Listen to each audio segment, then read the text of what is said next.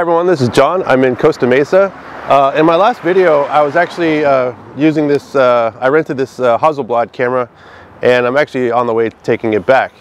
And on the way, I still had one more roll of film that I wanted to use, but I couldn't think of anything to use it with in a timely manner. And I just, I didn't want to just waste it. Um, and on the way back, or on the way to drop off the camera, I saw, um, I remember there's a VW repair shop uh, in Costa Mesa. It's sort of near where I was dropping off the camera. So I thought it'd be cool to just be able to walk around, photograph the cars. There's a lot of classic cars here that are really cool. And they've given me permission to photograph around and inside a little bit. So I actually have six shots left on the roll. I was playing around with it yesterday. Um, couldn't think of anything else to photograph, so I was kind of stuck. Anyway, so there's some cool cars here. Um, so I'm just gonna go around uh, the, the, the film's uh, a Cinestill uh, XX or double X, I'm not sure. It's black and white film. And I was having trouble finding out like what it is, because what's double X mean? And because uh, uh, I want to know the film speed, the main information for me. And uh, it's a 200 speed film that could also be used at ISO 250, as far as I understand. Maybe I'm confused. Um, it has a lot of latitude for pushing it in processing, which is something I've never done. So I'm not entirely sure what that is. So um, I have the, basically um, with my light meter, I have it set to ISO 200. So I'm operating with that as a base, uh, just as a clear understanding.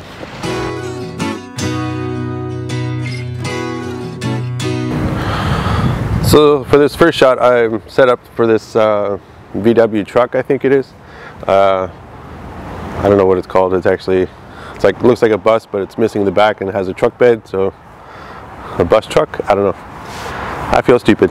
Anyway, so I'm set up. Uh, I like how it's jetted out a little bit into, the, pointing out into the street uh, with the scene in the back. So it just uh, looks cool to me.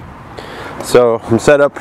Um, I metered at f8 and um, at 250th of a second or 250th of a second because um, really it showed uh, a shutter speed of, of 500 so I'm opening up a little bit because I want to get the shadows open a little bit and also uh, make the background uh, brighter just to highlight the car more.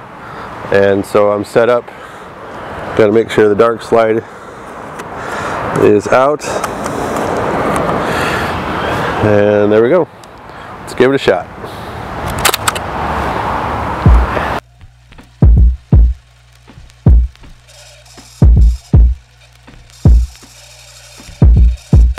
So for this next shot, I found this VW Bug that's parked between uh, two buses.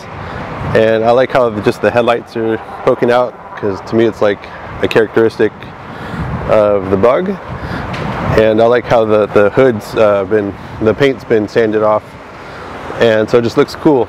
And I like how I think it really lends as well lends well to the square format of this camera.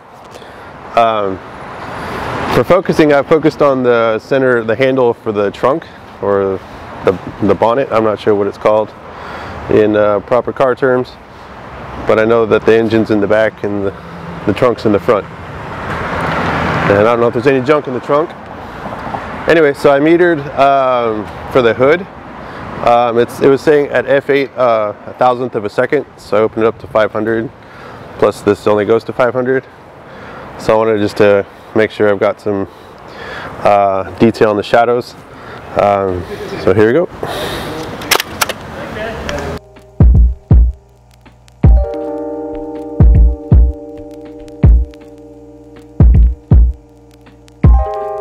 So I'm set up for this next shot. I thought since I'm using black and white film, it'd be cool to show shiny chrome because it's kind of perfect. Um, and this dark purple, I, I, don't know how that'll translate on film, but I thought it would uh, have some nice contrast with the shiny chrome and the purple paint. Um, I set to F11 just to get that depth of field because the I'm focused on the wheel or the hubcap um, that's nearest to me, but I also wanted to get the the depth of field to go further back a little bit. So I'm at, I metered at F11 and it was saying 500th of a second. So I put it to 250. I pushed it up a stop um, using the zone system. Um, I'm curious if I do 125, it would be a little better. But I'm going to stick with 250 because um, there's some extremes here with the uh, contrast, the the brightness of the shine on the hubcap. Um, so here we go.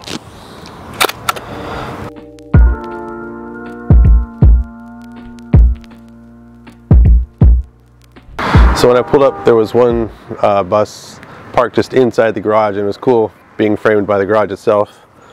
But they just drove off with it, so I'm not sure if it's coming back or if it's gone. Um, but I'm asking if I can photograph inside, and if I do, I'm not going to do any video in there, just so I can be quick and out of the way.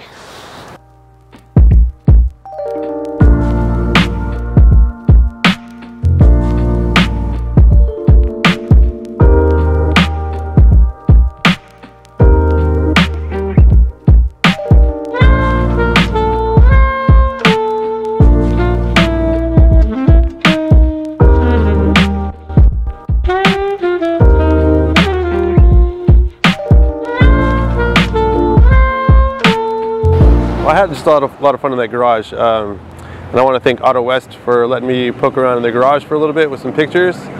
And I just saw the original bus that I was going to photograph drive by to go back.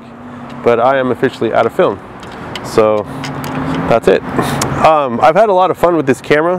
Um, I would love to have one myself. Um, I liked it because, uh, overall, because I don't really think about it. Like it, it's it's intuitive to use. Uh, it's pretty simple. Um, it's not too heavy. Um, you know that, and that's something I really look for in a camera. So I'm not really thinking about the camera. Um, yes, it's a Hasselblad. You know, it's got a nice name. Um, you know, it's popular, all that kind of stuff. So it lives up to its name. So uh, I'm still I'm excited to see the pictures. You're actually seeing them in this video. If you're watching this video, you're actually seeing them before I am. I don't know how that works in the time continuum, but anyway, I'm excited to see the pictures. Uh, so I'll probably rent this again as I save up to buy one for myself. And I wonder if renting it's better because uh, it make it make me more excited to use it. Um, you know, as anything he got me out of bed to get be excited about taking pictures. Um, and I only get 12 shots per roll, so it makes me a little more choosy. There's all that kind of stuff, but anyway, I really love this this uh, camera. So if you have one, kudos to you. I'm also curious about a Bronica SQ because I like the square format. It's just different and it's simple. You know, it's different from uh, my digital camera where it's um, the 4x3 or 3x2, I'm not sure. The, the rectangle shape. I, I love the, I, I, like the square, it's different. And I'm rambling on and I gotta go. So, um, if you're into film photography, you might want to check out an app called Lightmeter. I was going to show it to you on my phone, but for some reason I can't get my screen to record. Uh, go figure. Anyway, uh, hope you like this video. If you have any comments or questions, leave them down below. Uh, feel free to subscribe. I'll see you next time. Bye.